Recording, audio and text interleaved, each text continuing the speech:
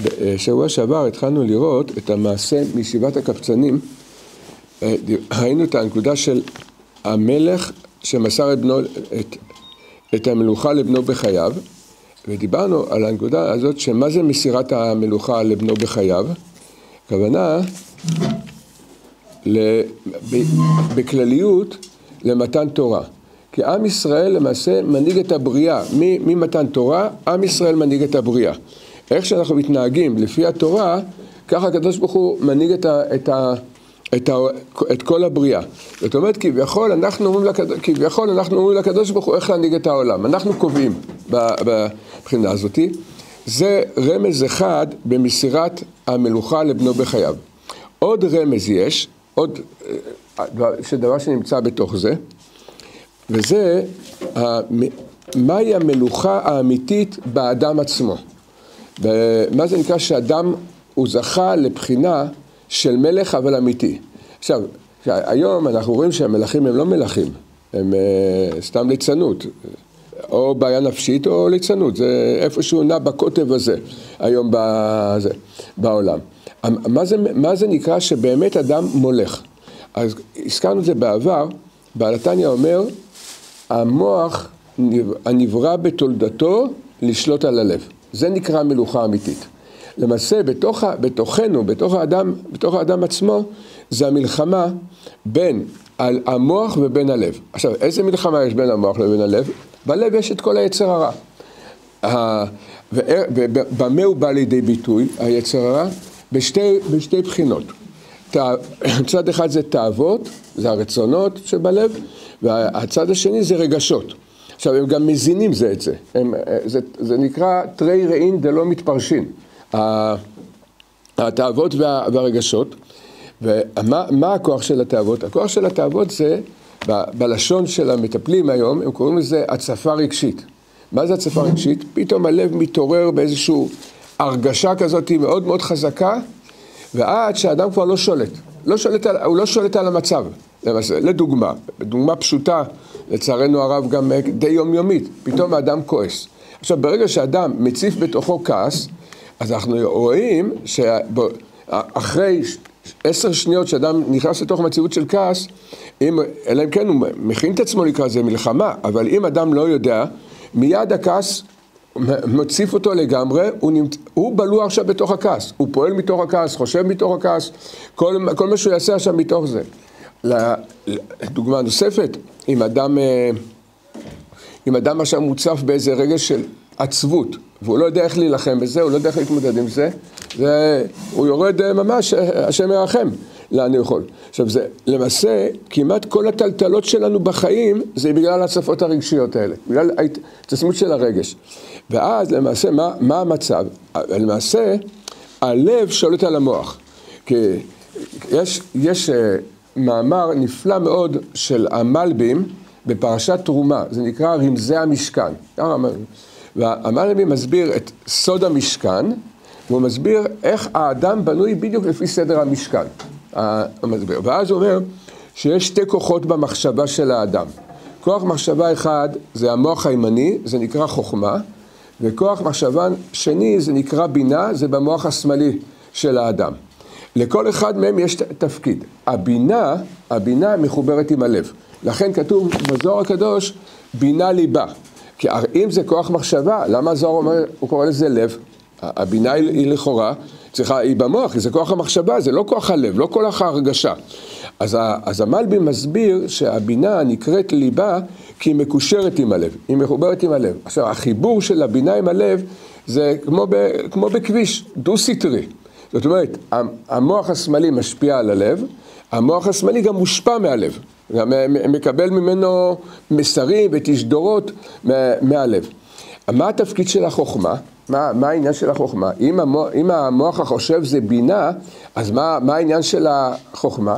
אז הוא אומר, דבר נפלא מאוד, זה כתוב גם, גם הקומרנה, הרבי מקומרנה גם כותב את זה, הוא אומר שכוח החוכמה זה נקרא ברק המחשבה. לפני שאדם מתחיל לפתח בתוכו מחשבה, הבנה, באיזה נושא מסוים, לא משנה, אדם מעיין באיזשהו נושא, הוא עוד לא מכיר אותו. עכשיו הוא פתח גמרא, פתח משנה, הוא רוצה להבין את זה, גם במילי דהרה, גם בדברים של, של הארץ. אדם רוצה להבין משהו. בהתחלה אדם לא מבין. עכשיו, ברגע שהוא מת, מתאמץ, הוא, לפי הרצון של האדם, הוא רוצה, הוא רוצה לדעת את זה, זה תלוי בכמה דברים, פתאום עובר ברק המחשבה. מה זה ברק המחשבה? כל ההשגה, כל ההבנה שהוא יכול להבין פה בדבר הזה, עובר אצלו כברק, ואז, כברק מה זה עוזר? זה לא, לא מועיל לנו, כי אנחנו עדיין לא הבנו. אבל הברק הזה עובר אל הבינה, ואז הבינה מלשון בניין, היא בונה. היא מתחילה לבנות את הברק של המחשבה, זה דקות, דקות של השגה, ואז האדם מבין. והסדר הנכון, שמהבינה זה יעבור ללב. זה, זה למעשה המהלך המתוקן, שברק המחשבה מעביר את זה לבינה, והמעבר בין המחשבה הדקה למחשבה שמפתחת את זה, בלשון הקבלה והחסידות זה נקרא איחוד אבא ואימא. איחוד אבא ואימא זה להעביר מברק המחשבה, להעביר את זה לבניין, לבנות את זה. אפשר, אפשר לראות את זה כי מבשרנו נחזה אלוקה, ממש סדר ההולדה. זה ממש סדר ההולדה הדבר הזה. זה בדיוק ככה, ככה נולד. כי כל, כל מה שקורה בגשמיות, שורשו ברוחניות. אז אנחנו אה, יודעים. עכשיו, הבינה, במצב המתוקן, הבינה מעבירה את זה ללב. היא מדריכה את הלב מה להרגיש, כמה להרגיש, איך לפעול וכן הלאה. זה במצב, זה נקרא המהלך המתוקן. שהחוכמה מעבירה את, ה, את, המחש, את הברק, את דקות המחשבה אל הבינה, מתפתחת, מעביר את זה, מעביר את זה ללב.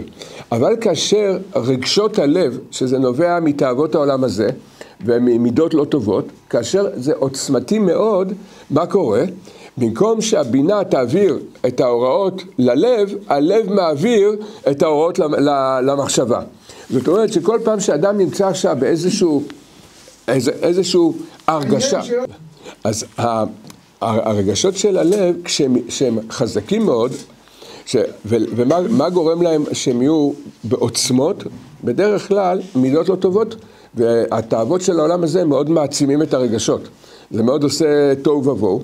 ואז זה במקום שהבינה, המחשבה תשפיע על הלב, זה דו-סטרי. אז זה עולה מהלב, זה עולה למחשבה. הלב שולט על המחשבה. זאת אומרת, כשאדם, למשל, מקפיד על עניין מסוים, כועס על עניין מסוים, אז עכשיו זה בתוך הלב, הכעס זה בתוך הלב, זה מעביר לו תשדורת למוח, כן? איך לפעול, איך לפעול עם הכעס. אמרנו פעם שצריך לדעת כלל גדול. ברגע שאדם נמצא עכשיו באיזשהו מהלך רגשי מסוים, צריך לדעת בוודאות. מה האמת, איך להתנהג לפה, אנחנו לא יודעים. אבל מה אתה כן יכול לדעת? אפשר ללמוד מזה לימוד גדול. תסתכל, תרשום או שתזכור את כל המחשבות שחשבת בתוך ההצ... המציאות הזאת של ההצפה הרגשית, ותרשום בצד ודאי לא אמת. עוד לא יודעים מה האמת, אבל מה שחשבת באותו רגע, ודאי לא, ודאי לא אמת. למה? כי המחשבה, בצ... בשעה שאדם נמצא בתוך תאווה או בתוך איזה רגש חזק, אם הרגש הזה מפעיל את המוח. ברגע שהלב מפעיל את המוח, זה ודאי לא אמת. זה, זה, זה, או אנחנו עוד לא יודעים מה האמת. למה? כי אמת יכולה להיות רק באופן כזה. מברק המחשבה של החוכמה לבינה וללב. זה הסדר, זה הסדר של האמת. ברגע שזה הפוך, זה כבר הכל, הכל מתבלבל. מה, שרב, מה שרבנו אמר פה, שהמלך מסר את המנוחה לבנו בחייו, פירוש הדבר שהוא נתן לנו דרך עבודה. כי כל, כל העבודה שלנו בעולם הזה זה לזכות להגיע לבחינה הזאת. בוודאי שבאנו לפה לא מתוקנים. למה? גלגולים, חטא הדם הראשון, יש הרבה סיבות שאנחנו לא, לא בתיקון, וה, והעבודה שלנו זה לזכות להגיע לבחינה הזאת שמוח שליט בתולדתו על הלב. המוח מנהיג את הלב. ונשים לב, נשים לב נקודה חשובה, המוח לא מבטל את הלב. זה, הלב זה, זה באמת חוויית החיים, כל ההרגש של האדם זה בלב. אם המוח היה מבטל את הלב, אז, אז זה בכלל לא היה תיקון. מה זה לא להרגיש? פעם היה איזה, לפני 50 שנה בערך, היה איזה בחור צעיר שהיה פרופסור לפילוסופיה והתחיל להגיד שכל הרגשות זה, זה שקר. אבל באמת, למה, למה הוא בכלל התעורר להתבונן בזה? כי הוא הרגיש שעולם הרגשות שלו אה, טוב ובוהו. אבל, אבל מה, מה הוא לא ידע? שה, בגלל שאז הוא לא היה מחובר עם התורה, אז זה דמיונות שלו. דמיונות שלו, אז הוא אמר, טוב, אז בוא נחריב את עולם הרגשות. כל עולם הרגשות, כל, עולמות, כל עולם הרגשות זה, ש, זה, זה בחינה של שקר. טעות גדולה מאוד. מה, מה באמת נקודת האמת? נקודת האמת זה שהלב, זה, זה, רבנו אומר שהלב זה הגן עדן. למה זה הגן עדן? כי כל חוויית החיים של האדם זה מה שהוא מרגיש בלב. כשאדם יודע משהו במוח, אם זה לא מאיר לו ללב, זה עדיין רחוק מאוד. אז יש עולם רגשות שהוא כולו קודש. זה הכל, הכל, זה, אור, זה הכל אור אלוקי בתוך הלב של האדם. מובא הרבה בספרים. השמחה, האהבה, הרצון לתת, היכולת להכיל את השני, למחול, לא, לא, איפה שיש הקפדה, להפוך את זה לרחמים, כמו שרבנו אומר, זה נקרא עולם הרגשות החיובי. זאת אומרת, המוח, העניין שלו זה לא לבטל את רגשות הלב, אלא לדעת איך להסיר מהלב, איך להרחיק מהלב את החלק השלילי. ויש מדרש שאומר שהחלק השלילי שבלב האדם זה עבודה, זה צלם של עבודה זרה ממש. ראיתי לשון בספר מסוים. אז כל הנקודה הזאת, כל הנקודה הזאת, זה שהמלך מסר את, בנו, את, את המלוכה לבנו בחייו, הוא מסר את זה לכל אדם יהודי, את סדר העבודה. איך, מה, מה סדר העבודה? זה על ידי, בכללות, באופן כללי, זה על ידי התורה והצדיקים. התורה והצדיקים מדריכים אותנו, מכוונים אותנו בדרך הזאת. כי האדם לא יכול בשום פנים ואופן לראות מה הדרך הנכונה שאני אוכל לתקן את זה, שאני אוכל לתקן את כל המציאות. אדם מצד עצמו לא יכול. בפרט כשאדם לא בתיקון, הוא בגן המבוכה, כמו שהרמח"ל כותב בתחילת הספר מסילת ישרים. אז יש שם כל כך הרבה שבילים, כל כך הרבה דרכים, כל כך הרבה נתיבים, אי אפשר. אז התורה, התורה, המצוות והצדיקים, הם מלמדים אותנו ומדריכים אותנו איך לזכות למלוכה אמיתית. ובאמת, כשאדם זוכה, ככל שאדם זוכה לבחינה שמוח שליט בתולדותו על הלב, אז למעשה זה הגן עדן. אם נשאל מה בין גן עדן ל, ל, ל, לעולם שלנו, שבעולם שלנו יש מלחמות עצומות בתוך הלב, בגן עדן כבר המוח שליט על הלב. מה, אם שואלים מה, מה אנחנו יכולים להבין, ודאי שיש עוד הרבה הבנות בזה, אבל היסוד של הגן עדן זה בעצם השליטה של המוח. בגן עדן אין, אין מידות לא טובות, אין תאוות של העולם הזה בגן עדן. ברגע שאין מידות לא טובות, ברגע שאין תאוות של העולם הזה... יש מדורים בגן עדן, מדורים. נכון. כל אחד נמצא במדור אחר. אז, אז למעשה, ככל שאדם, לכן אדם יכול להיות בגן עדן בעולם הזה. ברגע שהוא שולט, ברגע שהוא שולט על הלב, ושליטה נכונה, אמיתית, זה להאיר את, ה, את כל עולם הרגש החיובי שהוא אור אלוקי, אז מילא עכשיו הוא נמצא בגן עדן, ברגע שהוא מגיע לזה. אז הרבנו אומר שאי אפשר להשיג את זה באמת, אלא על ידי התורה וה, והצדיקים. לאחר מכן, לאחר שהמלך, לאחר שהמלך אה, היה, היה שמחה גדולה, אז רבנו אומר, וכשנעשו שמחים מאוד, עמד המלך ואמר לבנו, היות שאני חוזה בכוכבים ואני רואה שאתה עתיד לרד מן המלוכה, וכן תראה שלא יהיה לך עצבות כשתרד מן המלוכה, רק תהיה בשמחה. וכשתהיה בשמחה גם אני אהיה בשמחה. גם כשיהיה לך עצבות, אף על פי כן אני אהיה בשמחה. על שאין אתה מלך, כי אינך ראוי למלוכה. למה אתה לא ראוי למלוכה? מאחר שאינך יכול להחזיק עצמך בשמחה כשאתה יורד מן המלוכה, אבל כשתהיה בשמחה, אזי אהיה בשמחה יתרה מאוד. זה מאוד פלאי מה שרבנו פה כותב בכמה שורות, רבנו בעצם ממקד ומאיר את הלב של כל העבודה שלנו בעולם הזה. הדבר הראשון, המלך, אמרנו, זה הקדוש ברוך הוא, אומר לבנו, אומר לנו, אומר לכל יהודי. אני חוזה בקרובים ואני רואה שאתה עתיד לרד מן המלוכה. ואז הוא נותן לו הדרכה. איך תתנהג כשאתה יורד מן המלוכה? תהיה בשמחה. אז זה כמה נקודות. לכאורה, יש כזה מקצוע שזה נקרא חקר הספרות. זה כזה מקצוע, אני מבין שכמעט אף אחד לא יודע מי, מי זה, ברוך השם. זה הרבה כזה... בחקר הספרות רוצים לדעת למה התכוון הסופר, ולמה הוא אמר ככה. אז נעשה חקר, דרך אגב, את הסיפורים האלה, בפרט הסיפור הזה, למדו בהרבה אוניברסיטאות בעולם. אני זוכר, הייתה תקופה שהם למדו את זה באוניברסיטאות. אז נלך לפי הדרך שלהם, ניקח מהם, קצת ללמוד בבדיחותא. פה רבנו אומר, שהמלך אומר לבן שלו, אני רואה שאתה תרד מן המלוכה. אבל מאיפה זה? שימו לב למה שהוא אומר, היות שאני חוזה בכוכבים, אני רואה שאתה עתיד לרדת מן המלוכה. בשביל מה רבנו אומר, מקשר את זה שהמלך רואה שהוא ירד מן המלוכה, הוא מקשר את זה לעניין של כוכבים. מה, מה, מה הקשר בכלל?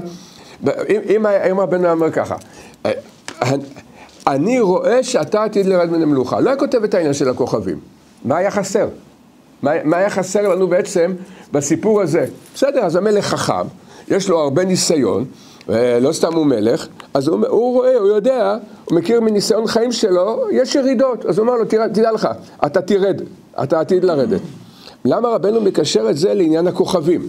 זה היה לדעת שאין מילה, רבי נתן כותב, אין מילה בסיפורי מעשיות שרבנו כתב את זה בשביל ה...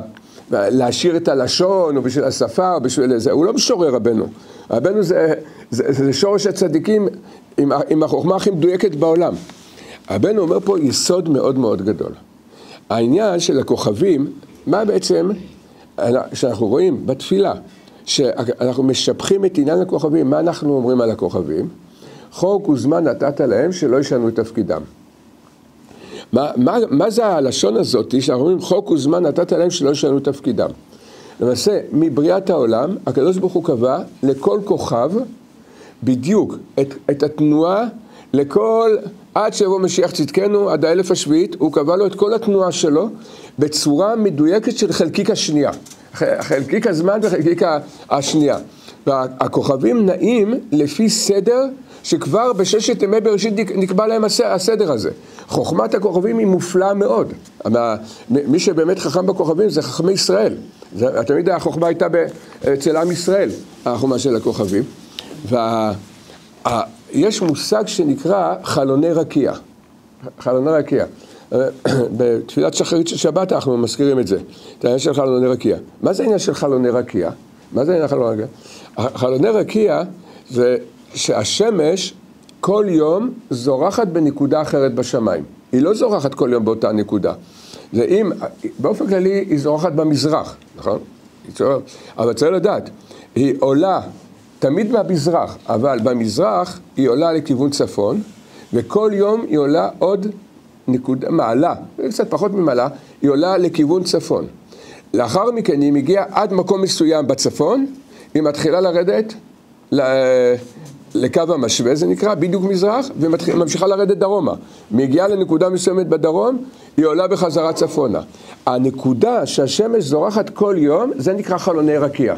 מה זה, מה, מתי נקבע החלונות האלה? בבריאת העולם. עד היום השמש מקיימת את, ה, את, את, ה, את המסלול שלה בצורה מאוד מאוד מדויקת. אותו דבר לגבי הירח ועוד ועוד.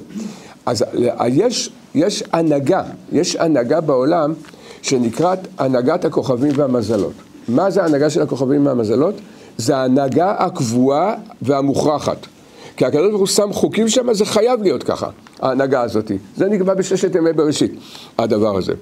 המלך, בסיפור, הוא מקשר את העניין של הירידה של בנו מהמלוכה לעניין הכוכבים. כלומר, אני חוזה בכוכבים שיהיה לך ירידה. מה הקשר? למה אתה מקשר את זה? פה רבנו אומר דבר מאוד עמוק. תדע לך, כמו ששמתי חוק קבוע לתנועת הכוכבים, גם לכל הירידות שלך כבר שמתי חוק קבוע.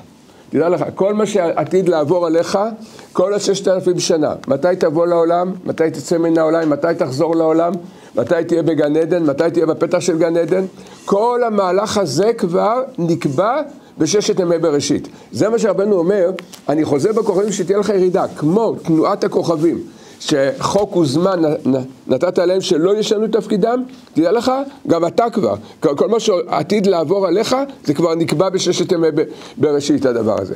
באמת אפשר לראות כמה דוגמאות לדבר הזה. אחת הדוגמאות זה שמשה רבנו ראה את מיטתו של רבי עקיבא. הוא שאל שאלה, מה, מה לאדם כזה גדול, למה שהאדם כזה גדול יצטרך לעבור כזאת? הקדוש ברוך הוא אמר לו, שתוק. ככה עלה במחשבה. כתוב בספר הלשם, נקבע בששת ימי בראשית שרבי עקיבא יעבור את המיטה הזאת. למה? מסודות, סודות גנוזים. הלשם כותב בספר הדעה, אומר, אף אדם, כולל משה רבנו, לא יכלו לדעת למה רבי עקיבא היה צריך לעבור את זה. יש חוקים, יש, יש כבר דברים קבועים שנקבעו. אם, פה מתעוררת השאלה, אם כך, אם יש חוקים לכל מה שיעבור אלינו, איפה הבחירה? הרי כל המציאות שלנו בעולם הזה, זה הבחירה. הרי אנוכי נותן לפניך את הטוב ואת הרע, את החיים ואת המוות, ובחרת בחיים. כתוב בתורה. אז התורה היא תורת אמת. אם זה מה שכתוב בתורה, אז זה ודאי שזה אמת, שיש בחירה. אלא הבחירה היא, היא איך אנחנו מקבלים על עצמנו את המעברים שאנחנו צריכים לעבור. הרבה פעמים אדם לא יכול לשנות את המעברים. זה כבר נקבע בשש ימי בראשית. אבל יש לאדם כן בחירה איך הוא מקבל את המעברים ש, שהוא, שהוא צריך לעבור. את העליות, את הירידות, פעם במזרח, פעם, ב, פעם במערב, פעם בצפון, פעם בדרום, כל השינויים האלה זה שינויים שאדם, זה מסע שאדם חייב לעבור בעולם הזה. העבודה שלנו זה איך אנחנו מקבלים את הדבר הזה, ובוא. לכן כתוב שהקדוש ברוך הוא בוחן ליבות וכליות, מה הכוונה בוחן ליבות וכליות? כי המבח... המבחן האמיתי, הבחירה האמיתית זה בלב שלך, בלב של כל אחד מאיתנו.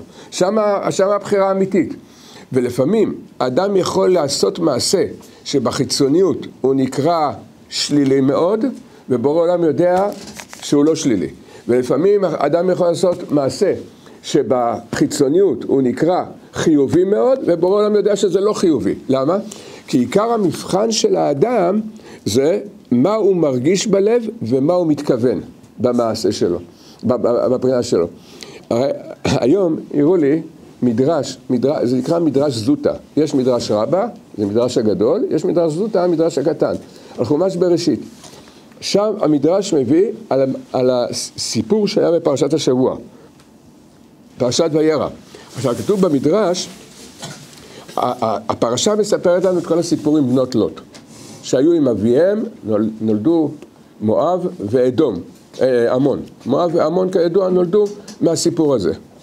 אומר המדרש ככה, ראויות היו בנות מצד המעשה שלהם לשרפה. מה, מה זה, איזה מין דבר זה? מה עשיתם? עם אבא שלכם הייתם כדי להוליד? אז היו ראויות לצד השרפה. ואז אומר המדרש, אבל הקדוש ברוך הוא אמר, אבל הם לא כיוונו לרע, הם כיוונו, הם חשבו שכל העולם אה, נשמד, אז הם כיוונו כוונה טובה, להמשיך קיום העולם. אז המדרש אומר, זה הלשון של המדרש, הוא אומר, אין הקדוש ברוך הוא שופט את ה... דן את האדם על המעשה, אלא על הכוונה שבלב שלו. ככה זה הלשון של המדרש. מפה רואים, מה שכל כך רבנו מלמד אותנו על הרצונות טובים, מחשבות טובות, רואים מפורש במדרש, רואים את זה במפורש במדרש, המשפט והדין של האדם זה על מה הוא חושב, מה הוא כיוון. ואם הייתה לך כוונה, אם היה לאדם כוונה טובה ויצא לו דבר לא, לא טוב, אתה זכאי, אתה לא אשם בזה. למה? עכשיו, למה יצא דבר לא טוב? בורא עולם יש לו את ההנהגה שלו, את סדר ההנהגה, את הסדר ההנהגה שלו. בדרך אגב, לפני כמה, שנתיים, שלוש סיפרנו את זה, יש, ב, יש אה, סדרת אה, ספרים בשאלות, בשאלות ותשובות בהלכה, של אחד מגדולי הפוסקים, משה פיינשטיין, זה נקרא איגרות מוישה. בכרך ט"ו, בכרך ט"ו, הוא מביא שם דבר נורא שקשור לסיפור של, של בנות לוט. הוא, הוא, לפני, הוא היה בארצות הברית כידוע, לפני שהוא עשה לארצות הברית, משה פיינשטיין, הוא היה רב בעיר באירופה, שכחתי את השם שלה, הוא היה הרב של העיר. יום אחד באו ואמרו לו שאחד מבני הקהילה מאוד חלה, וחלה במחלה מאוד מוזרה, משהו קרה לו בפה, הלשון שלו מתנפחת וזה. הוא הלך לבקר אותו, לבקר אותו. כשהוא הגיע, אז אותו יהודי ביקש מכולם לצאת, והוא אמר, אמר לרב משה פיינשטיין שהוא רוצה להישאר איתו לבד. כשהוא נשאר איתו, ורב משה פיינשטיין, אחד מגדולי הפוסקים, מספר את הסיפור הזה. אומר שמה, אומר שמה היה דבר נורא. האדם הזה שחלה, אומר לו, אני רוצה לספר לך מה קרה לי. אומר, שבוע שעבר, פרשת וירא. זה היה, זה כמו עכשיו. הסיפור הזה היה בין וירא לחיי שרה. אומר, שבוע שעבר בפרשת וירא, אני מעביר שיעור קבוע בפרשת השבוע בבית כנסת. למדנו, למדנו את ה... ואני לעגתי להם מאוד, לעגתי להם מאוד איך, איך הפסוק הזה מעשה ואתם לא מתביישות עוד לקרוא על שם האבא? כאילו, עיקר הלעג שלו היה, איך, איך אתם לא מתביישים? עשיתם כזה מעשה ועוד אתם קוראים לבן על שם האבא. הוא אומר, ואני מאוד לעגתי להם בשיעור. זה סיפור נורא. הוא מספר אותו יהודי למשה פיינשטיין. באותו לילה, באותו לילה, הוא אומר, אני, אני חולם חלום. באות אליי שתי נשים מבוגרות, מאוד לבושות, מאוד בצניעות. והן אומרות לו, אתה יודע מי אנחנו? הוא אמר להם לא. הם אמרו לו, אנחנו בנות לוט. תדע לך, השיעור שאתה העברת פגע בנו מאוד.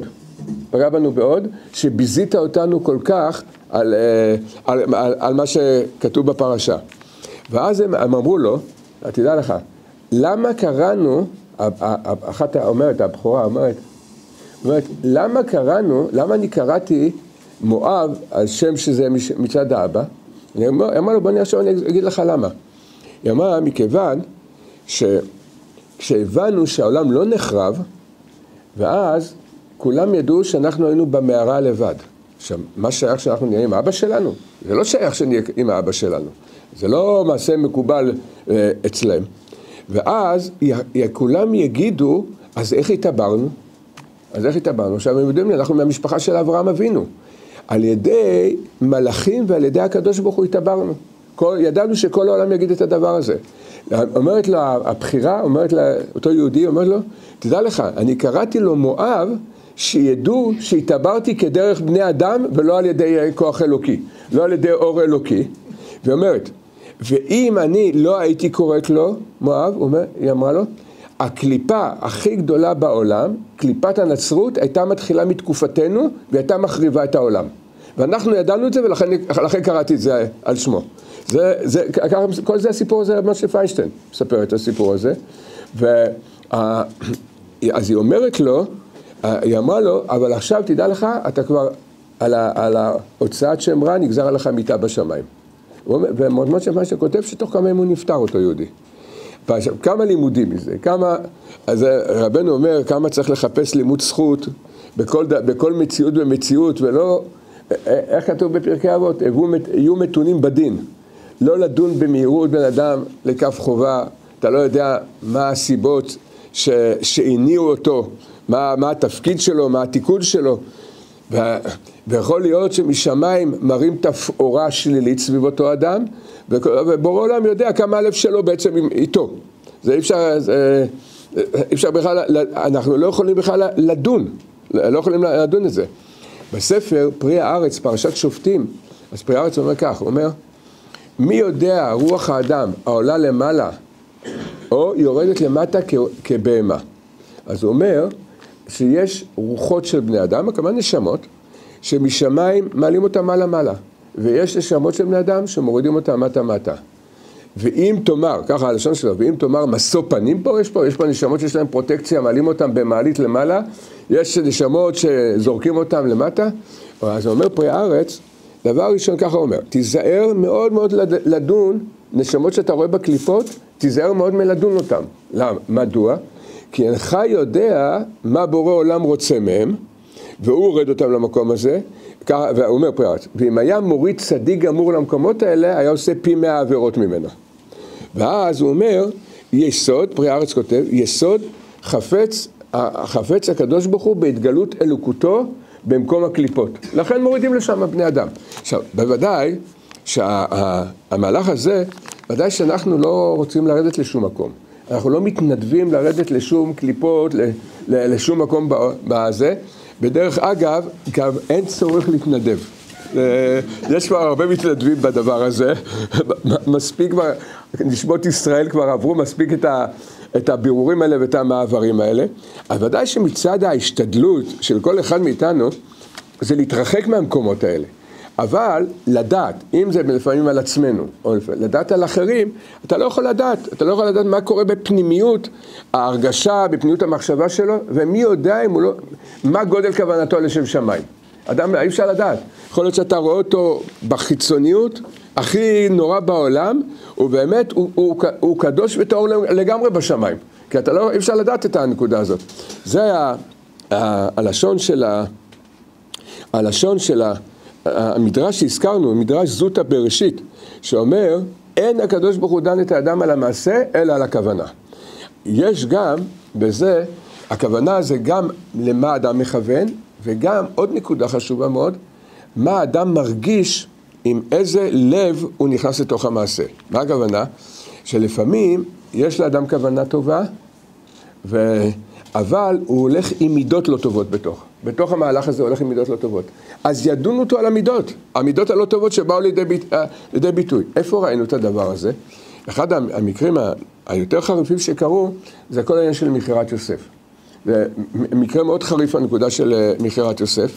הכתוב, ידוע שהמדרש אומר שהאחים שיתפו את השכינה בהחלטת המכירה.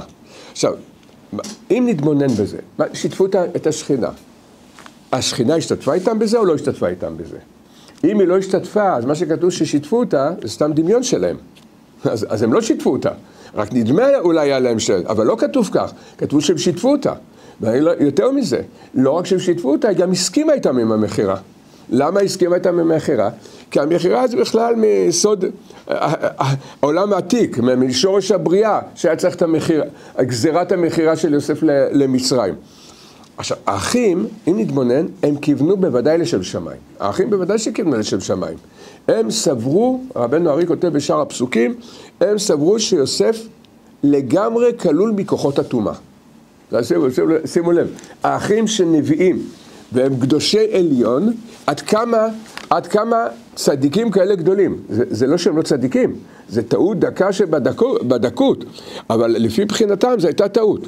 אז האחים, שהם כל כך, כל כך גדולים במעלה, עד כמה הם טעו ב- ביוסף.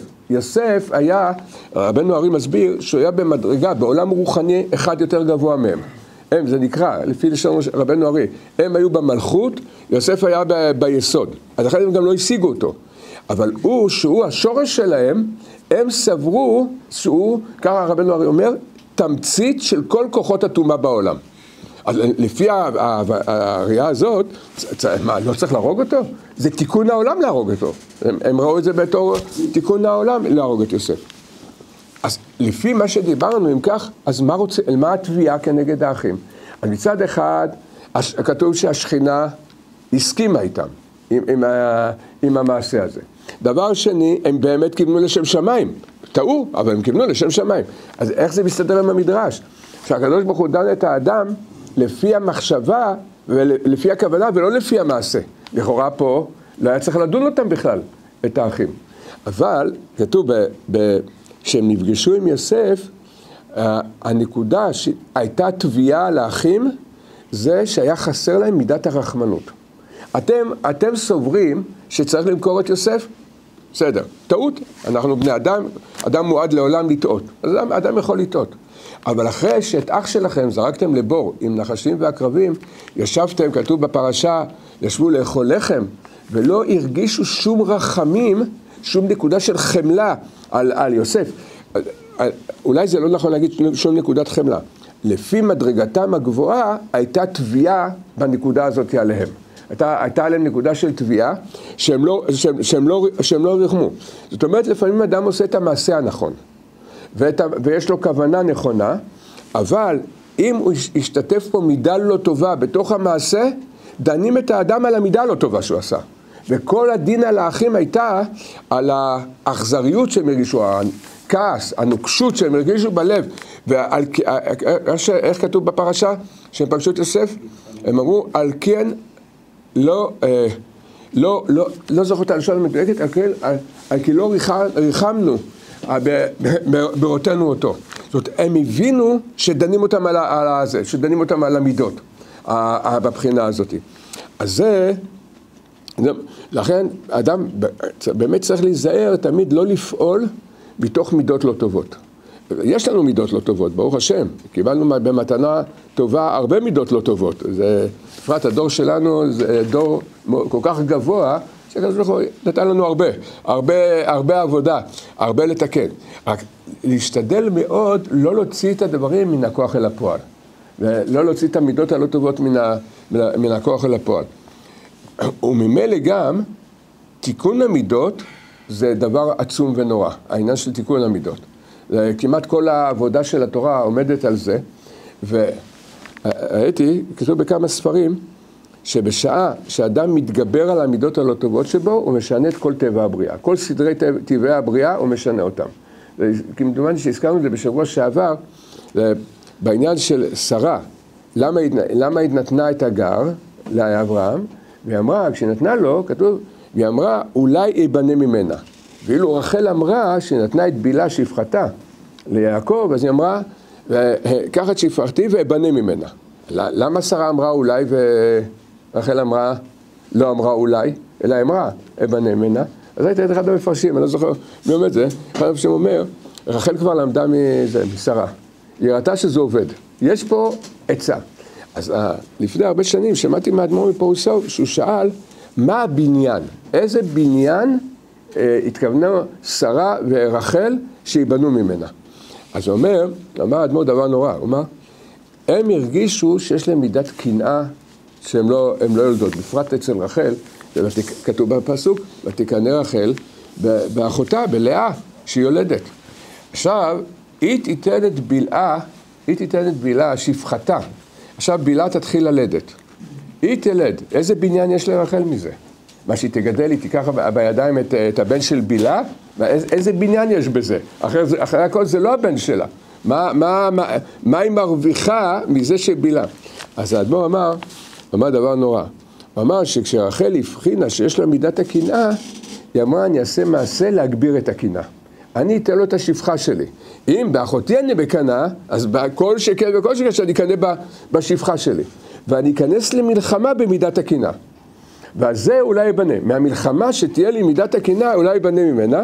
האדמו"ר אמר, האדמו"ר פרסוב אז אמר, שבזכות זה גם שרה זכתה ללדת וגם, וגם רחל זכתה, זכו ללדת. כי, כי ברגע שאדם נלחם במידות שלו, זה נקרא, המידות זה הטבע, טבע האדם. ברגע שאדם נלחם בזה, הוא משנה את הטבע. לכן, מה שכתוב כל כך בספרים הקדושים, אחד הדברים הכי, הכי קשים להתמודדות זה העניין של הכבוד. הכבוד זה באמת, זה צורך גדול באדם. זה שורש, זה שורש מאוד עמוק בנפש האדם. זה, אם, אם, נשים, אם אדם יתבונן כמה הוא צריך כבוד, אז אנחנו נראה שבעצם אנחנו בבחינת מכורים. מכורים לכבוד. איך אפשר לראות את זה? אדם שיתבונן. הוא מגיע לאיזה מקום, נניח יש מספר אנשים שם. מה הוא מרגיש שמכבדים אותו באותו מקום? מה הוא מרגיש שמבזים אותו באותו מקום? עכשיו, למה זה קשה לעשות את העבודה הזאת? כי אנחנו יודעים מראש לא להגיע למקום שמבזים אותנו. האדם כבר יודע איך להתרחק ממקומות כאלה. הוא לא, יתקרב, הוא לא, הוא לא יתקרב למקום כזה. אז אה, כתוב, יש ספר שנקרא שערי קדושה של רבנו חיים ויטל. והוא כותב שמה דבר מאוד מעניין. הוא אומר, הוא אומר שמה, היה חכם אחד שרצה ללמוד, אה, להצטרף לכת המתבודדים, ללמוד את דרכי ההתבודדות. עכשיו, דרכי ההתבודדות, שרבנו חיים ויטל כותב, אין הכוונה, אין הכוונה להתבודדות שאנחנו קוראים, אלא לכוונות וייחודים, ללכת, זה נקרא אה, יורדי המרכבה, זה להיכנס להשגות, למקומות מאוד פנימיים, פנימיים. החכם רצה להצטרף, לה, רצה להצטרף אליהם, עד שמצא מתבודד אחד, ואמר לו, למדני את דרכי ההתבודדות. אז אמר לו החכם, אותו מתבודד, אמר לו, אני אשמח ללמד אותך, אבל לפני זה אני רוצה לשאול אותך שאלה. לשאול אותך שאלה, אם אתה, אם אתה ראוי שאני אלמד אותך. אמר לו, בבקשה. אמר לו, תגיד, המתבודד אמר לחכם, תאמר לי, האם כאשר משבחים אותך וכאשר מבזים אותך, שווה בעיניך? אז החכם היה איש אמת, הוא אמר, לא, זה לא שווה. משבחים אותי, אני שמח. מבזים אותי, אני עצוב. זה טבע האדם. אמר לו המתבודד, הוא אמר, עד שלא תגיע למצב שאין לך שום הבדל בין השבח לביזיון, איני יכול ללמדך את דרכי ההתבודדות. איזה תיקון בנפש האדם זה לזכות, זה הרבה ספרים כותבים, זה, זה הבחינה שיוויתי השם לנגדי תמיד, שיוויתי שוויון בין, ה, בין, ה, בין השבח שמשבחים אותנו לבין הביזיון שמבזים אותנו. אנחנו מכירים, יש יהודי ש...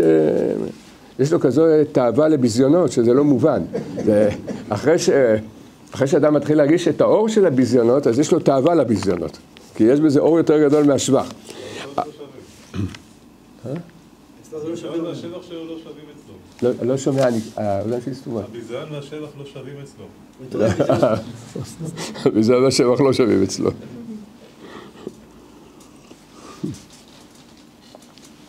אז אה, ל- לסיכום הדבר, סיכום הדבר, מה שרבנו אומר פה, תדע לך, חייב, אדם חייב לעבוד, לעבור בעולם, כמו זריחת השמש, שקיעת השמש, כמו חורף וקיץ, ימים טובים, חייב לעבור עליות וחייב לעבור ירידות. זה המ"ב מסעות שאדם חייב לעבור בעולם הזה.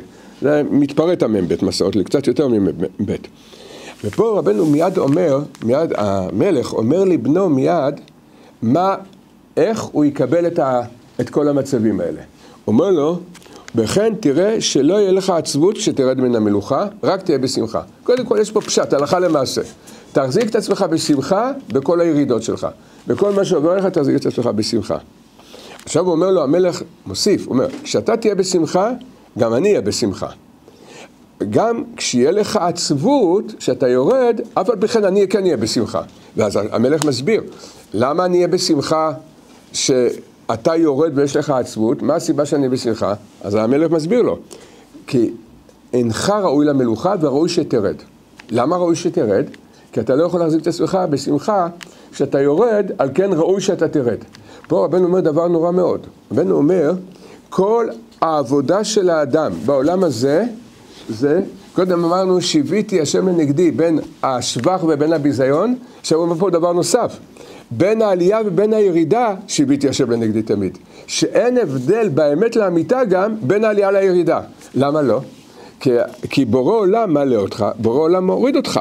והניסיון שלך זה לא אם אתה תעלה או תרד, הניסיון שלך זה איך לקבל את העלייה ואיך לקבל את הירידה. אז ממילא, ברגע שאדם, ברגע שאדם עצוב כשהוא יורד, מה זה, מה זה אומר? שהוא עוד לא הגיע לתיקון הנפש שלו. לכן המלך אומר, אני שמח שאתה יורד. תראה, אתה, אתה חייב לרדת כדי לברר את הנקודה הזאת. עד שיש בחינה, עד שיש בחינה, שאין הבדל באמת בין העלייה לירידה, כי זה הכל השם. אם זה הכל השם, מה, מה לי העלייה, מה, מה, לי, מה לי הירידה? ברוך הוא, אני, אני הקדוש ברוך הוא. עכשיו, ודאי שצריך לראות איך מורידים את זה הלכה למעשה, את הדבר הזה. זה, הרי רבנו לא, רבנו לא התכוון וגם לא פטר אותנו מעולם בעבודה ובמסירות נפש לא לרדת. הוא לא פטר אותנו מזה. כי למה? כי יש בחינה של העשייה והבחירה בעולם הזה. אבל רבנו אומר, תדע לך, תדע לך, אחרי שאתה עשית את שלך, ועכשיו שאתה עובר את כל, ה, את כל הירידות, את כל הטלטולים האלה, דע לך, זה ממני יצא הדבר. עכשיו, כשרבנו אמר פה ירידה, עד, עד היכן הוא התכוון? מה זה, מה זה, מה, מה זה הירידה הזאת? השאלה, השאלה פה, האם זה כולל גם עבירות? האם הירידות, שרבנו אמר ירידה, טוב, ירידה יכול, להיות שפתאום אין לאדם אה, מוחין אה, ללמוד תורה בעיון. אה? אתה, אתה מצדד שכן. בסדר, בסדר, בוא, נראה. אבל להכניס את זה. אבל באמת, באמת, זה נכון, אבל צריך להביא ראיות לדבר הזה. יש כמה ראיות. יש, מה? סליחה? בנות לוט, מה שאמרת בהתחלה. דוגמה, נכון. יש בגמרא, במסכת שבת, בדף פט עמוד ב', כתוב שמה, אמר רבי יצחק, אם יהיו חטאיכם, פסוק, הוא מביא את הפסוק, אם יהיו חטאיכם אה, כשנים, ר- אם יהיו חטאיכם כשנים, כשלג ילבינו. זה הפסוק. רבי יצחק מפרש את זה, אומר, אם יהיו חטאיכם, החטאות, מה שאתם חוטאים, כאותם שנים שמסודרות מששת ימי בראשית, אזי כשלג ילבינו. אז זאת אומרת שצריך לדאוג שהחטאות האלה יהיו מסודרים כמו ה- הששת, הימים, שב- השנים שבאים מששת ימי בראשית. לא מובן, לא, לא מובן מה שרבי יצחק אמר, מאוד אה, זה, מאוד, מאוד תמוה. יש כמה פירושים אה, על, ה, על לפרש את אה, מה שרבי יצחק אמר. הבן איש חי על, על המקום, הוא בבן יהוידע, הבן איש חי כותב כך, הוא אומר, יש חטאות, חטאים, שמסודרים לכל אדם ואדם מששת ימי בראשית. ואין שום אפשרות שאדם לא יחטא בחטאים האלה. ככה בן איש חי כותב, בן יהוידע. הוא, הוא כותב את זה. אז אם כך, מה העבודה של האדם? לדאוג לא לחטוא חטאים אחרים. מה שמסודר לך, אתה בין כה וכה, אתה חייב לחטוא. רק אל תוסיף על החטאות האלה. אם תוסיף, אז ידונו אותך. אבל על זה לא דנים אותך. ככה הבן שלך כותב בבן יהודה. עכשיו, כולם שואלים את השאלה. לא מאיפה, אנחנו יודעים מה מסודר ומה לא מסודר? איך אנחנו אמורים בכלל לדעת מה מסודר מששת ימי בראשית? טוב, בפש, בפשט אפשר להגיד, בסדר, אתה לא יודע, אז עד שלא יגלו לך ברוח הקודש, אל תחטא שום חטא. זאת אומרת, תמיד תילחם. מה שאתה חייב ליפול, אתה תיפול. אבל אתה תשתדל תמיד, לא, תעשה את הכל כדי, כדי לא, לא להיכשל. לא ללחוץ פול גז בירידה. מה? לא ללחוץ פול גז בירידה. זה גם עצה. זה גם עצה. אבל יש מקום, יש פירוש אחר של הבן איש חי, שאפשר לקשר את שתי הבן איש חי. הבן איש חי כותב, זאת אומרת, למעשה מה הוא אמר לנו פה? יש דברים מסודרים לאדם שהוא חייב לעבור. והבן שלך אומר במפורש, לא יעזור לו שום דבר. זה, על זה הוא לא יכול לשנות. יש גמרא במסכת ברכות, בדף ט"ו, תפילות האמוראים. ושם כתוב, אמר רבי יוחנן, תפילת רבי יוחנן, יהי רצון שתסתכל בבושתנו ותציץ ברעתנו. שואל הבן איש חי בבן יהודה על מסכת ברכות, אומר הבן איש חי, מה, מה התפלל מה ביקש רבי יוחנן? יהיה רצון שתסתכל בבושתנו ות, ותציץ ב, ברעתנו. אומר הבן איש חי כך, הוא אומר, יהי רצון שתסתכל, תביט בבושתנו ותציץ ברעתנו, שכאשר אנחנו נכשלים בעבירות, אנחנו מתביישים, ורע לנו מזה שנכשלנו בעבירות. ואז הוא אומר ככה, ואם אדם נכשל והוא מתבייש ורע לו מהעבירה, סימן שהוא אנוס בעבירה הזאת. הוא כותב את זה פעמיים שלוש, הבן איש חי. לא בזה, זה לא צריך לדרוש את זה בקוצו של יוד. הוא, הוא חוזר על זה, עוד פעם, הוא אומר, הוא, הוא אומר, וזה ההבדל בין יהודי לגוי. הוא אומר, גוי שמח בעבירה שהזדמנה לו, ויהודי מתבייש ומצטער בעבירה, בעבירה שיש לו.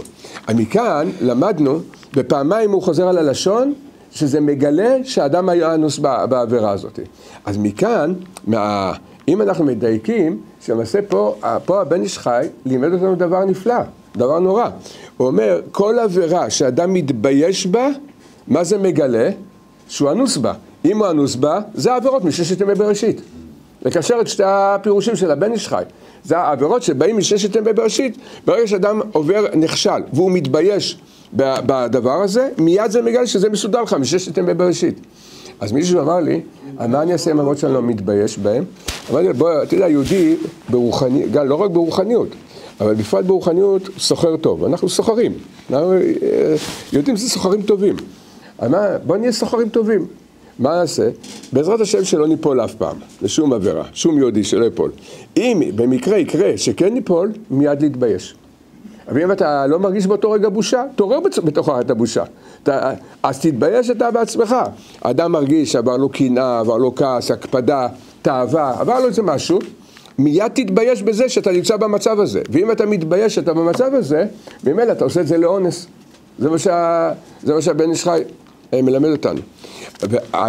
ובאמת, בכללות זה מה שרבנו אומר פה.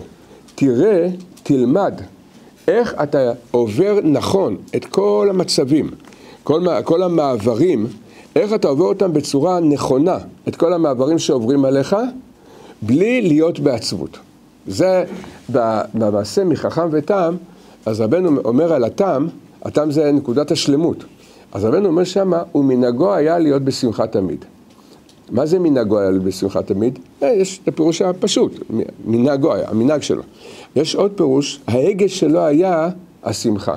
פירוש הוא לישרי לב שמחה. הוא תמיד היה, בכל עבודה, בכל, בדרך שהוא הלך, הוא היה מווסת את עצמו בנקודת השמחה. זאת אומרת, אם אני עוסק עכשיו באיזושהי עבודה, ואני נכנס למתחים, נכנס לעצבויות או חולשה כלשהי, לא משנה, הרגשה לא טובה, תסיט את ההגה, סימן שסטית מן הדרך. תחזיר את ההגה, תחזיר את ההגה ולישרי לב שמחה, שזה נקרא אור הישר, תלך, תלך ישר. יש, יש, רבנו אומר, מצד אחד, רבנו מדבר בגודל המעלה של לב שבור. ודאי זה, זה דבר עצום ונורא, לב שבור, חרטה על כל מה שעשינו, ודאי זה דבר גדול, דבר מאוד גדול העניין הזה. מצד שני רבנו אומר, זה רפ"ב, להסתכל בנקודות טובות, ולשפוט את עצמנו לנכון, אה, בצורה לטובה, לראות בנו את הטוב שבתוכנו. דבר, דבר נוסף רבנו מדבר, שעיקר תיקון כל המידות זה ענווה. ענווה בשפלות, תדע לך כל מה שיש לך זה בורא עולם. עכשיו, העצות האלה, הן סותרות זו את זו. זה, מצד אחד רבנו אומר, תסתכל בנקודות הטובות שיש בך, ותראה את הטוב. מצד שני רבנו אומר, תראה את הלא טוב שיש בך. הלב שבור, מה שעשית. מצד שני רבנו אומר, והעיקר זה ענווה ושפלות. איך בעצם, הרבה פעמים אנחנו מוצאים סתירה בדברי רבנו. בתוך דברי רבנו, לכאורה, בעצות, הלכה למעשה, סותרות, הן סותרות זו, זו את זו. כל העצות זה בעצם, זה כנפיים להטיס את המטוס ישר. מה הכוונה? עכשיו אדם עוסק, יש כנף לב שבור, ענווה, שפלות. יש כנף שמחה, נקודות טובות, הכל טוב. אתה צריך להטיס את המטוס ישר, ללכת בדרך הישרה. לפעמים אדם עוסק עכשיו למשל בחשבון נפש, ומתעורר אצלו חרטה, הוא מתחיל, מג... מראים לו קצת משמיים כמה עולמות הוא החריב, החרבנו כמה עולמות בדרך, עשינו הרבה, זה, עשינו הרבה טעויות בדרך, מתחילים להראות את זה לאדם, אדם מתחיל להתחרט. לשים לב שהאדם יכול לעסוק עכשיו בתשובה ולהיכנס מהתשובה, להיכנס מהתשובה לכבדות, זה מתחיל סולם מוצב ארצה וראשו בשול תחתיות. זה, זה מתחיל מכבדות לב. אחר כך האדם עובר שלב ב', דכדוך. שלב ג', עצבות. שלב ד', דיכאון. שלב ה', ייאוש, והוא לא רוצה לחיות יותר. עכשיו, מאיפה הוא הגיע לכל הרגשות האלה? מהלב שבור שהיה לו. אבל לב שבור זה קדושה. אז מה, הרי זה עצה של רבנו, רבנו אומר, בכל הספרים כתוב, כמה זה מעלה גדולה, עניין של לב שבור. אז למה האדם הגיע בעצם, למה האדם הגיע ל, ל, לכזה דיכאון וייאוש מלב שבור? לא בגלל שלב שבור זה לא עצה אמיתית. לב שבור זה עצה אמיתית. בגלל שהוא לא השתמש בה במידה הנכונה. זאת אומרת, ברגע שאדם צריך לזהות, ברגע שהתחלתי להיכנס קצת ללב כבד, עצבות קצת מהתשובה, מיד הוא מחויב ללכת, בורא עולם, הכל טוב, בורא עולם. יש לי נקודות טובות, הנשמה אלוקית, היום בבוקר התפללתי, הנחתי תפילין, בירכתי ברכות השחר, זהו, ברוך השם, כל השאר זה כבר בונוסים. אם מישהו יודע, מישהו ספורטאי, ויודע לעשות uh, סלטות, שבאותו רגע שהוא מרגיש קצת את העצבות, מיד יעשה סלטות. מיד, אה, מה זאת אומרת? לך לכנף של השמחה. ת, ת, תאזן את המטוס, זה נקרא ישרי לב. תאזן את המטוס שיהיה מאוזן בין הלב שבור לבין השמחה. לפעמים אדם מסתכל בנקודות טובות, ובפרט בימים של גדלות המוחין, הלך לו טוב, ועוד כמה אנשים שיבחו אותו, אמרו לו ברוך השם, אה, אחד בדור וכן הלאה, אמרו לו שבחים, והוא הסתכל בנקודות טובות, הוא יכול להגיע לשמחה יתרה, כבר מתחיל לגאווה, אשרי הדור שאני, שזכה, שאני אהיה פה. אתה מרגיש שאתה הגעת לפה, מיד תלך לכנף של הלב שבור. לך, ל, לך עכשיו תעשה תשובה, ואל תשכח, אל תשכח שלפני כמה שעות, במחשבות שלך, עוד לא היה אחד בדור שרצה לעשות את כמוך. תזכור, תזכור את הדבר הזה. תזכור שאתה אחד מה... אם בורא עולם לא היה שומר עליך, כמה אנשים וכמה תאוות היית עושה בעולם הזה, היית מחריף את העולם. אז מה, ומה מה נקודת אמת? לטוס ישר. לטוס ישר עם המטוס זה נקרא ישרי לב. זה לב ישר, זה הכוונה, ומנהגו היה להיות בשמחה תמיד.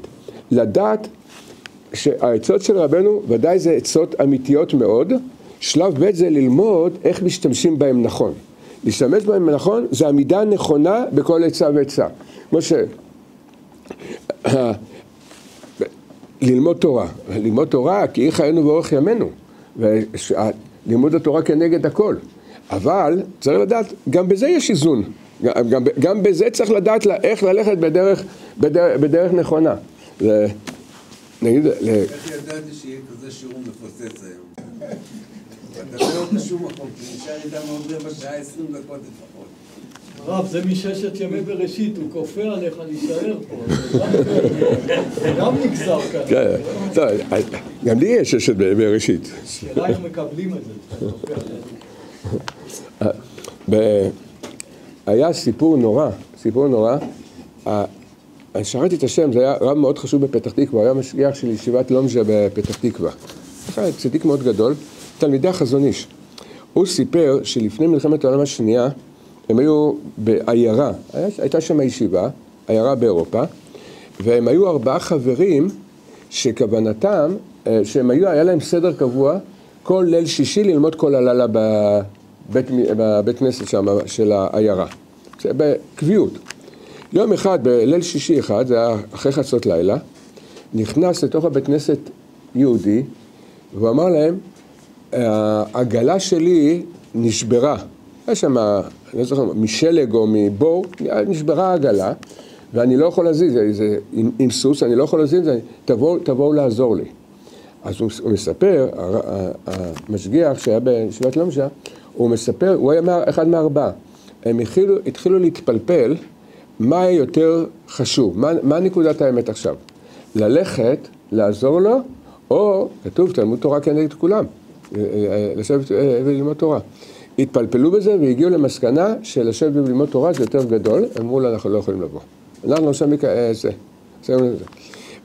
הוא מספר שהיה שם בבית כנסת תימהוני שתמיד היה ישן שם בבית כנסת, ליד התנור היה ישן שם.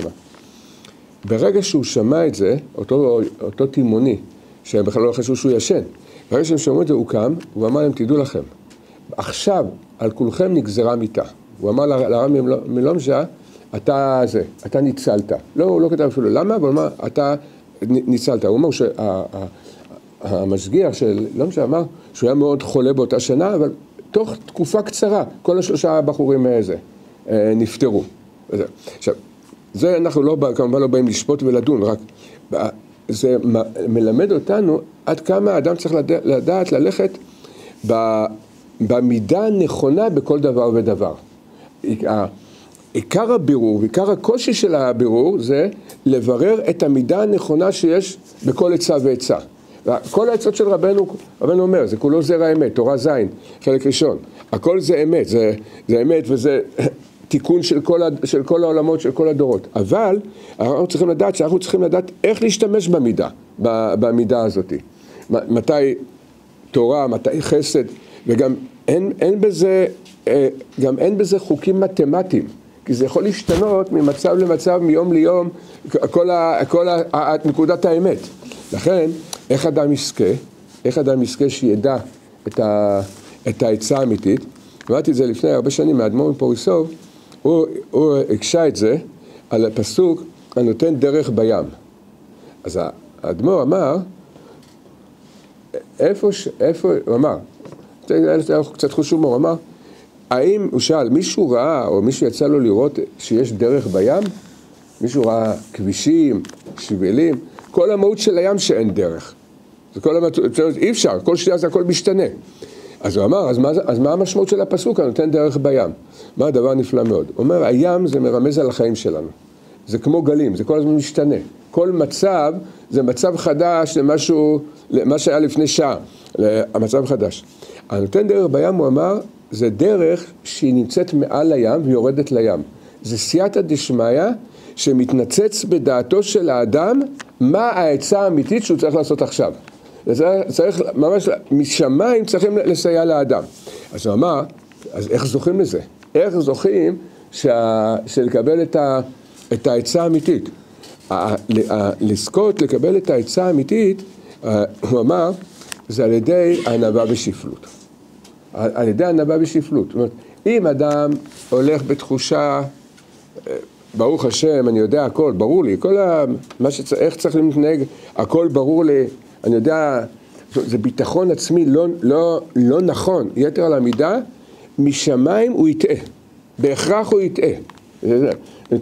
אבל אם אדם יודע, מה, אני, אני יודע מה האמת, רבי נתן כותב, אה, כמדומני זה בעלים לתרופה, הוא כותב, אומר, או, ש, או שבחיים או עונת, אבל על כל פנים, רבי נתן אומר, באים שואל, שואלים אותו עצות. אומר רבי נתן, אומר, איך אני יכול להגיד עצה למישהו? אומר, אני יושב בסעודה, ואני לא יודע אם אני צריך לאכול עוד כפית אחת. לעצמי אני לא יודע לתת עצה אם אני צריך לאכול עוד כפית, זה כבר תאוות אכילה, או, או שזה צורך אמיתי. איך אני יכול להגיד עצות לאחרים? עכשיו, ברגע שאדם מבין שעד עד כמה העולם הזה כל כך מטעה, כל כך מבלבל, והוא מפחד, מפחד מצד זה, שהוא יודע, אני יכול לטעות כל רגע ורגע. אז אמר האדמו"ר, אז, אז שומרים על האדם. משמיים, וזה נותן דרך בים. זה, כמובן שההתקשרות עם הצדיק, התבודדות, כל זה מחזק את כל העניין הזה. אם אדם בטוח בעצמו שהוא יודע את האמת, הוא ודאי יטעה. אם אדם יודע שהוא לא יכול לדעת את האמת, כי אין דרך בים. בסדר, היום ידעת מה לעשות, אבל הגלים של הים, אותם גלים, אתה יכול להגיד שהגלים של יום שני זה בדיוק באותו סדר קבוע של יום ראשון? כל אחד יודע שזה לא יכול להיות בכלל, הדבר הזה. כל, יום, כל רגע זה סדר אחר של גלים. ככה זה החיים, כל רגע זה סדר אחר של גלים. אז, אז כשאדם, כשאדם זוכה, כשאדם זוכה, אדם זוכה לענווה הזאת, ומהי הענווה? אני לא יודע. אני לא יודע, ברור העולם, אני לא יודע. אני לא יודע מה האמת. אז אני יודע שיש פה יצר הרע וקליפות שיכולים להפוך לי את כל המציאות מצד לצד. אחת הנקודות של ההתקרבות לצדיק, והצדיק האמת זה לברר את הנקודה הזאת בתוכנו. לכן, ככל שמתקרבים לצדיק הוא מטשטש את הכל. אחד הבירורים, כתוב, זה כתוב בספר הרבה נחל, עוד ספרים זה כתוב על הנקודה הזאת, שלפעמים הצדיק מטעה את העולם, מטעה, מטעה את העולם, כדי שהעולם, אותה, אותו ביטחון, ביטחון שהוא לא ביטחון אמיתי, שורשו בגאווה. אם אדם מרגיש, אני יודע, זה, זה, זה שורש של גאווה. כדי להציף את הגאווה הזאת בלבבות ישראל, כדי שיוכלו לתקן את זה, הצדיק עושה מעשים מוזרים כדי שיבזו אותו ושיחלקו שיחלקו עליו, ואם אדם אומר, מה, מה אני יכול לחלוק עליו? מה, מה אני יכול לבזות אותו? אני, מה אני יכול, אני יכול לבזות אותו? אני פי אלף יותר, גם אם כל מה שאני רואה, נניח שהכל אמת, נניח שהכל אמת, אבל אני יודע איפה אני נמצא.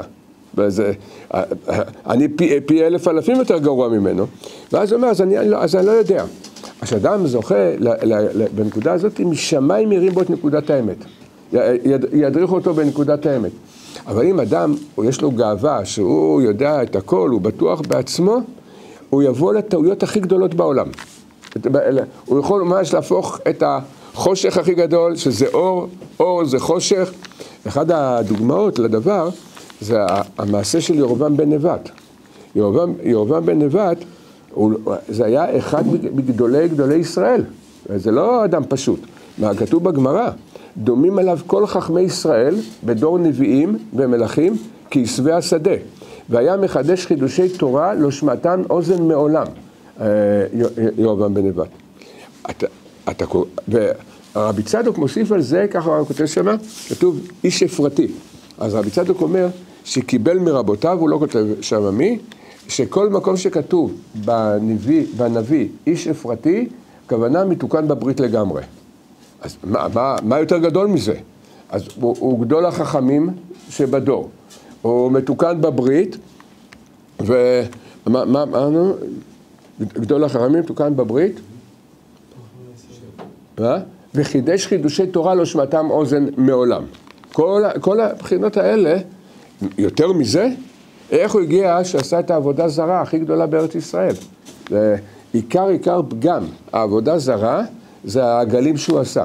כתוב, כתוב בזוהר שהוא הכניס את טומאת חטא העגל לתוך ארץ ישראל, מה שלא היה קודם לכן. לפני זה זה לא נכנס לארץ, בעגלים זה נכנס לארץ. איך הוא הגיע, ודרך אגב, הוא ביטל את עם ישראל מלעלות לבית המקדש. נחשוב, הוא היה, ב, הוא היה בזמן הרי שלמה, בשלמה ואחר כך אה, רחבעם, הבן של שלמה. זאת אומרת, זה בערך 20-30 שנה אחרי ששלמה בנה את בית המקדש, אולי קצת יותר, נגיד עד 40-50 שנה, עד, כמעט עד חורבן הבית, כמעט עד חורבן בית המקדש, עשרה שבטים לא היו עולים לרגל. היה, היה, היה, היה, היה מציב שומרים, היו מתחמקים, אבל היה צריך להתגנב לבית המקדש. היה צריך לגנוב את הדרכים כדי להגיע לבית, כדי להגיע לבית המקדש. אז לכאורה זה כזה פלא, איך יכול להיות שאדם כזה גדול הגיע ל... והיה בו בחינת משיח, זה רבנו ארי כותב, הוא היה צריך להיות משיח בן יוסף ירובעם בן נבט. אז כל כך גדול היה ירובעם בן נבט, מה, היה בטוח בעצמו. ברגע שהוא היה בטוח בעצמו, הוא, היה לו איזו ביקורת על שלמה המלך, בפשטות גם הייתה ביקורת צודקת על שלמה המלך, אבל ברגע שהוא אמר את זה בצורה של תוקף וגאווה, וככה, אני יודע, שם התחיל כל הכישלון שלו, של, של אהובה בן נבט. לכן, הצדיקים יודעים כמה להיות מתונים, להיות מתונים, להיות בתפילה, להיות בהכנעה. אני, אולי עכשיו אני זה, אולי כל מה שאני רואה עכשיו זה הדרך הכי ברורה להחריף את העולם. לי נראה עכשיו שזה אמת. אבל ברגע שאדם, אה, אה, הוא זוכה לתקן את הביטחון העצמי המופרז, ה, את, שזה מידת הגאווה, משמיים מצילים אותו. זה, אז, אז האדמו"ר מפורסם אמר, זה נקרא נותן דרך בים. כי בים אין דרכים, אלא כל רגע מנצנצים בדעתו של האדם את העצה האמיתית של הרגע הזה, של הגל הזה, של, של המציאות הזאת. הירשמו לערוץ של הרב ויישארו מעודכנים.